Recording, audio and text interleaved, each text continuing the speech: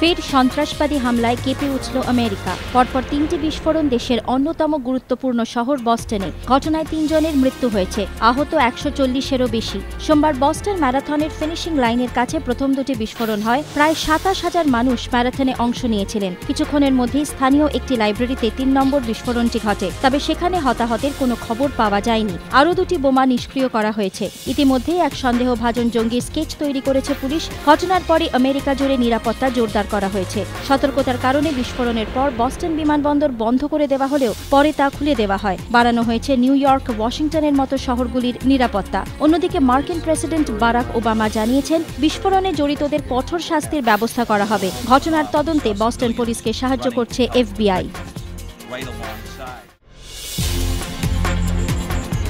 ফের প্রেসিডেন্সি ক্যাম্পাসে পুলিশ। শুক্রবারের পর ফের এদিন দুপুরে প্রেসিডেন্সি বিশ্ববিদ্যালয়ে যায় জোড়াসাঁকো থানার পুলিশ। ক্যাম্পাসে গিয়ে দারোয়ান সন্তোষ সিংহ ওরফে পাপ্পুর ব্যাংক অ্যাকাউন্ট সম্পর্কে খোঁজ করে পুলিশ। পাপ্পু এদিন ক্যাম্পাসে ছিল না, তার মোবাইলও বন্ধ ছিল। পাপ্পু স্ত্রীকে জিজ্ঞাসাবাদ করে পুলিশ। পাপ্পুর ব্যাংক অ্যাকাউন্ট নাম্বার ও অ্যাকাউন্ট সংক্রান্ত যাবতীয় তথ্য সংগ্রহ করা হয়। সঞ্জয় নামে এক দারোয়ানকেও জিজ্ঞাসাবাদ করা হয়। জিজ্ঞাসাবাদ করা হয় ক্যাম্পাসের কয়েকজন ঝাড়ুদারকেও। প্রেসিডেন্সিতে হামলার ঘটনায় অভিযোগের আঙুল উঠেছে তৃণমূল ছাত্র পরিষদের দিকে। যদিও পার্থ চট্টোপাধ্যায় সিপিএমকেই কাঠগড়ায় দাঁড় করিয়েছেন। তার দাবি, ঘটনায় জড়িত সিপিএম কর্মী পাপ্পু সিংহকে অবিলম্বে গ্রেপ্তার করতে হবে। শনিবার জোড়াসাঁকো থানায় পাপ্পুকে প্রায় তিন ঘণ্টা ধরে জিজ্ঞাসাবাদ করে পুলিশ। সেই ঘটনার রেশ কাটতে না কাটতে ফের প্রেসিডেন্সিতে পুলিশ। যদিও থানা সূত্রে খবর, পাপ্পুর খোঁজে নয়, অন্য এক দারোয়ানের খোঁজে প্রেসিডেন্সিতে গিয়েছিল পুলিশ। এ নিয়ে ডিসি সেন্ট্রালকে ফোনে যোগাযোগ করার চেষ্টা হলেও তার সঙ্গে যোগাযোগ করা যায়নি।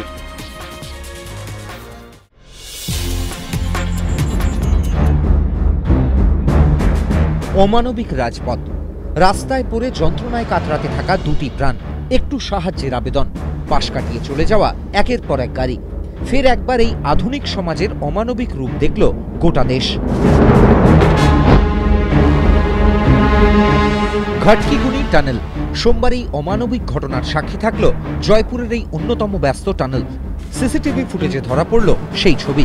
স্ত্রী এবং দুই ছেলে মেয়েকে সঙ্গে নিয়ে বাইকে করে টানেল দিয়ে যাচ্ছিলেন জয়পুরেরই বাসিন্দা কানহাইয়ালাল আচমকাই তাদের বাইকে ধাক্কা মারে একটি লরি।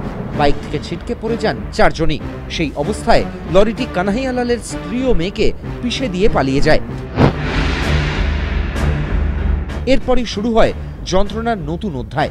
যন্ত্রণায় কাতরাতে থাকা স্ত্রী এবং মেয়েকে হাসপাতালে নিয়ে যাওয়ার জন্য একের পর এক গাড়ির কাছে আবেদন জানাতে থাকেন কানহাইয়ালাল কিন্তু সাহায্যের জন্য কেউই এগিয়ে আসেননি। আরতি উপেক্ষা করে গতি বাড়িয়ে বেরিয়ে যায় একের পর এক গাড়ি। কানহাইয়ালালের সামনেই ছটফট করতে করতে মারা যান তার স্ত্রী এবং মেয়ে। চোখের সামনে মা এবং দিদিকে প্রাণ হারাতে দেখল এই একরত্তি প্রাণ ঘণ্টাখানেক পরে হাজির হয় পুলিশ, কিন্তু ততক্ষণে সব শেষ। বৈশাখের পয়লায় তিন স্বস্তি। একই দিনে দাম কমল সোনা এবং পেট্রোলের। পাশাপাশি তিন বছরের রেকর্ড ভাঙল নিম্নগামী মুদ্রাস্ফীতির হার। বিয়ের মরশুমের আগে সুখবর, গত কয়েকদিনের ধারাবাহিকতা বজায় রেখে ফের কমল সোনার দাম। বারোই এপ্রিল কলকাতায় দশ গ্রাম সোনার গয়নার দাম ছিল উনত্রিশ হাজার আটশো টাকা, পরের দিন তা কমে দাঁড়ায় আঠাশ হাজার দুশো টাকায়।